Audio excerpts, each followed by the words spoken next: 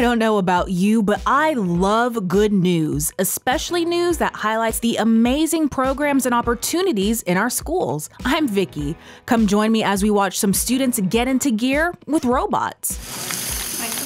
And that is the sound of STEM in action. You're looking at video of a meeting of the Sumo Robot Club. Students from La Villa are getting plugged into the basics of computer programming, learning how to code these robots for sumo style competition.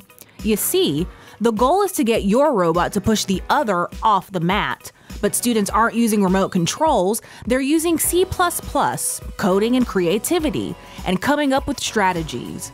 Right now, these students are meeting at A. Philip Randolph after school each week for a six week program. I think it helps promote using math and science in real life rather than just learning it, learning it in a classroom. This program is still new to Duval County, but leaders say the goal is to get students from all over the district involved. I really like that it's exposing me to a lot of things that I wasn't able to see before necessarily. And without this, I wouldn't really probably be coding a lot. We want students from all over the place so we can provide them with these opportunities because these are what is going to set them apart in the future. You know what else is neat? These students are also building their robots and learning about 3D printing. Good luck to them, and thanks for watching this edition of Good News in Schools.